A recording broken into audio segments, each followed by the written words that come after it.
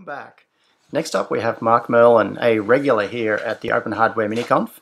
He's going to run a pre-recorded presentation which will go for about 12 minutes and then take questions at the end. So uh, any questions that come up, please put them into the chat and we will do those at the end. So for now, here's the presentation.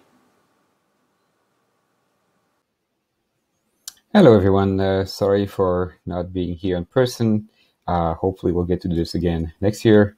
In the meantime, here's my presentation on how LEDs got out of control. And I think the first ones are free and then it ends up being a very expensive hobby. so those are all the links you'll want uh, if you want to look at all the projects. You can go back and rewind to this little slide and it will have the links to everything else you need. Uh, here specifically is a whole story of uh, basically this talk in a much longer page if you'd like to have details.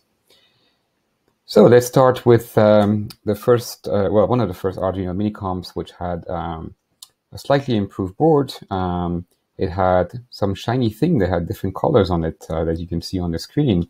And then it had an LCD that I wrote a glue driver for.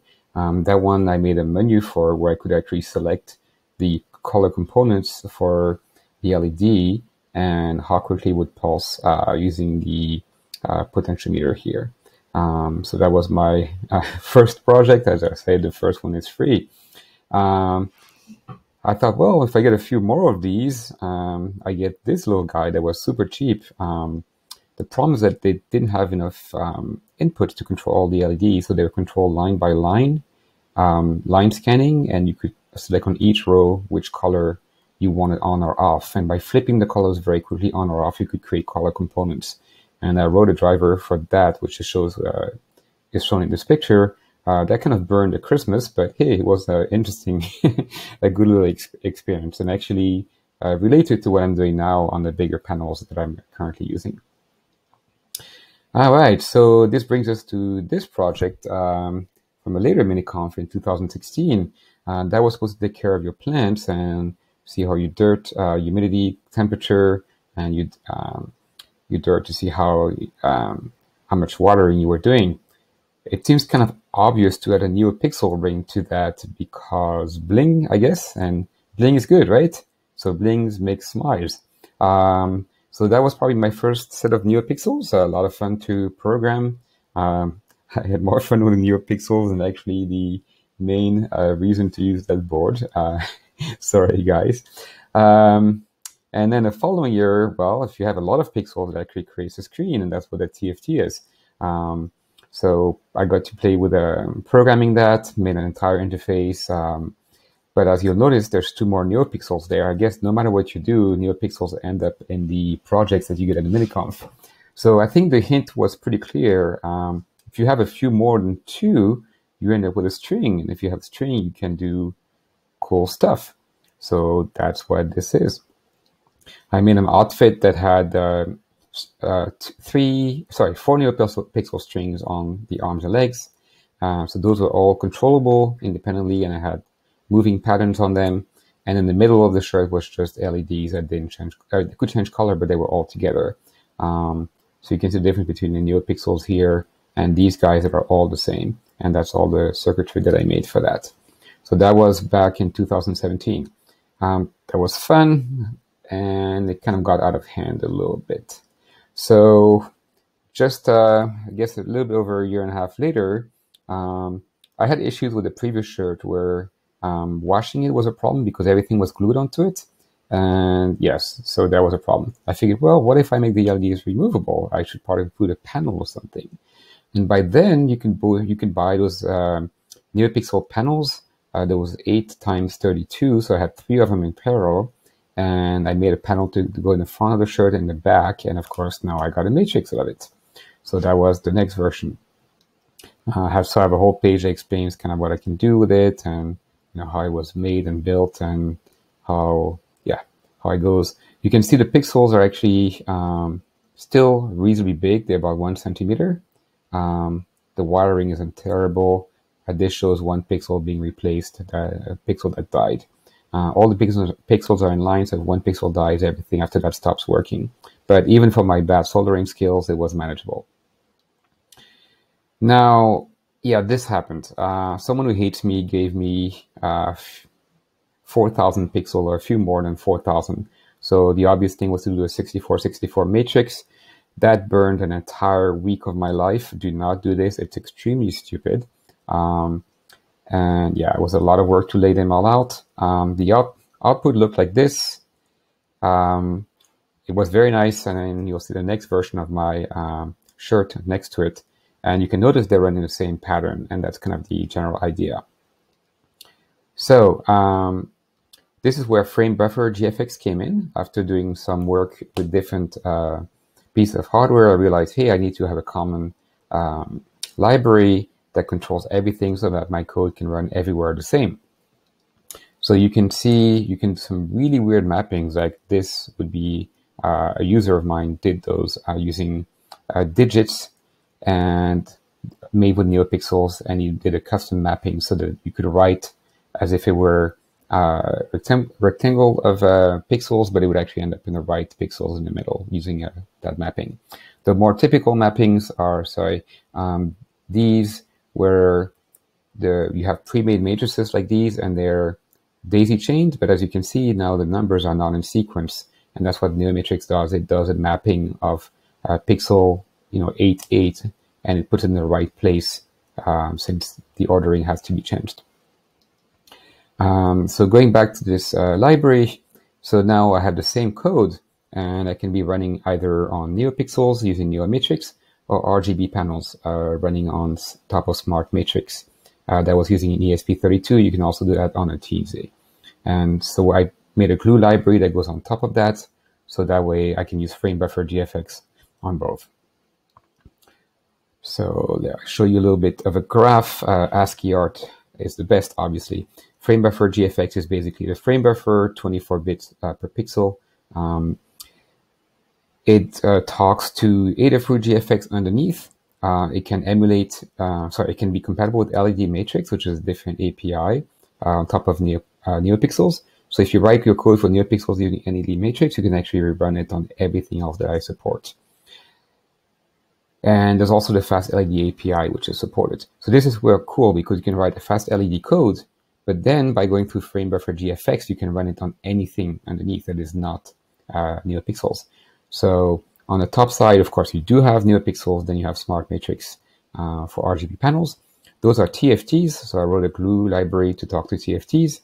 Um, underneath, I realized, hey, that would be really cool if I could run my code on Linux because I would write it so much quicker. I could run the GDB. I don't have the compile upload cycle, and it's just win all around. The next reason, of course, was to run on our Raspberry Pi because there's that really good driver RPI RGB panel um, that allows you to run a lot more RGB panels quicker than you can do with uh, smaller chip um, like uh. All right, so I'll go quickly. So this is basically uh, my shirt uh, running RGB panels. Um, running a higher resolution that's uh, 6496 and yeah, if you go back to those pages, you'll get a video that shows you uh, all the patterns running on it. I have to go quickly. So now this is the exact same size in RGB panels. The pixels that used to be four millimeter are now just two. And this is uh, 128 times 64 per panel. And you can see here there's an Raspberry Pi with a, a ElectroDragon board on top, and it has three different channels. So it's running those uh, panels in parallel for to refresh them at full speed because they basically um, full refresh panels. So you have to keep refreshing the lines over and over again, and that's how you emulate the colors a little bit like the first um, 8 by 8 matrix that I showed you. So I wrote again the glue library to make this work. So now I have my Arduino code running on top of Raspberry Pi with no rewrite on a completely different piece of hardware. Then I told you about uh, Linux. So I can definitely run that code on Linux um, as shown here. Um, let's see if I can play it for you. There we go. So this is the ESP32 running on its own RGB panel. It is connected to Linux via a USB port, and Linux is running the same code, but run independently. So it's getting the command um, through Wi-Fi right now from the ESP32. ESP32 saying, "Hey, I'm running demo number whatever," and then it gets to Linux, which says, oh, okay, I should run the same demo. And it renders it locally in a resolution that's four times as big. So this is how I was writing and debugging the code very quickly. From here, um, I also made some really big panels. Um, okay, this is starting to get a little bit expensive. The panels on the left were actually free. Um, the ones, because they were returns, they were not compatible uh, at the time. But um, with the people who bought them, let me see if I can actually play this video. The play button is being hidden. Let me see, click that. There we go. Um, so the ones on the left were free. The ones on the right are 64 128. Those panels actually cost $50 a piece. Um, so if you do the math, it adds up a little bit. But look at this, isn't that gorgeous, right? So this is basically uh, what you can do when you go bigger. All right, but back to my shirt. So the idea is you can see on top of the screen, uh, that was my old panel. That was 9660, uh, sorry, 6496. The new one is now twice as much, 128 times 192. I say twice, it's actually four times number of pixels. So um, basically the ESP32 is still getting the commands of what to do, and it's rendering now to a panel that will not be connected. It's then connected to the Raspberry Pi, and the Raspberry Pi will be doing its own rendering um, and a resolution that's four times bigger. So some demos are the same like these, and they're being rendered separately on the Raspberry Pi. So this is going to be the new shirt I'm going to be wearing. All right, and I think that gives you a reasonable idea of what it looks like. Um, again, the idea is that it all runs on top of FrameBuffer GFX. It's all the same code. It was written for Arduino. Now it runs on ESP8266, ESP32, Teensy, uh, Raspberry Pi, and Linux. And the best part again on Linux is I can just debug the code and do it on my laptop without having to do the upload cycle. So there you go. Uh, if you have any questions, hopefully I'll be here to answer them. Hey, welcome back. So thank you, Marc, for that presentation. That was pre-recorded, but I have Marc live right here now so that he can answer any questions that you might have. So if you have questions, it's not too late, put them in the chat. Uh, there was a question from Nicola who asked, what's your favorite LED technology? Is it matrices, strip LEDs, NeoPixels, something else? Right. All right, so uh, hi everyone. Uh, there were so many demos that I was just asking for demo fail, so I cheated a little bit. I hope you'll forgive me. Um, so um, LEDs. I, well, I guess I'm going to try to make everyone uh, seasick. Um, I'll probably show you since I have on my desk now. So those are RGB panels. Um, these guys are the same those, which are just low resolution. Um, if you look up there, they're still RGB panels. And as you can see, they're pretty big, right? Um, so the panels on the right, there's actually, uh, let me count them right, there's 12 of them, and they're 50 bucks a piece US, so they're not that cheap. Uh, but if you count, there's actually about a thousand, sorry, a hundred thousand pixels. And if one pixel is three LEDs, that's actually 300,000 LEDs. So that's a lot. Um, NeoPixels are just easy to drive. They're, they remember what you tell them. You don't have to keep refreshing them. You don't have to emulate colors. They're just easier to work with. But turns out, if you thought that was expensive, the one up there in uh, NeoPixels, it would cost about I think about 10 times more because uh, NeoPixels, of course, have a chip in each LED um, or each pixel, and that adds to the cost. Also, they can only be so small. Um, so the ones I have, uh, I showed you like on the left and right, uh, those are on the left here, they're two millimeter per pixel. Those are four. And then here you can see NeoPixels, that's one pixel, right? So they can be a little bit smaller than that, but you can see the scale. There's a huge difference in scale. So um, so those are basically the two main ones to pick from um, if you want to go big. Of course, the next one is TFTs. So yeah. I had a few things on my desk since we're doing this. So this is the uh, the badge uh, that you saw. Um, this is running with MicroPython, and it has touch sensor, so I can make it go forward and backwards. Uh, for people who didn't get the badge, this is how to make your own one uh, with a your own board. This is running C++ to see how quickly I can flip the image. Um, and this is the, the Franken board that uh, was mentioned earlier. Uh, I'm still working on the code. Um, the dog ate my homework, I'm sorry. I was running C++ in the middle. And basically, I just added on the back um, an extra connections to do SPI to a screen that is 9664 color. So it's a lot nicer. Um, I just have to fix this a little bit. And if you really just want to go high in pixels, that's what I used to do. I used to run uh, those TFTs. That one is a 320, 240. If you remember um, the uh, IoTuz, that's actually the screen that we had on it. And this one allowed me to write code uh, in the plane or while traveling without uh, carrying something stupid big like that, big and heavy and breakable. Now, um, the next level, if you want to program, is to actually run this on your computer. And this was what I was saying earlier as uh, part of the presentation. Uh, now I can write all the code on my laptop. I can debug in the plane. Uh, I don't have to be running anything, any hardware, and then later on I just flip it to actual hardware. And okay, here I'll show you the remote. So the remote talks to the ESP32. ESP32 is doing its own display.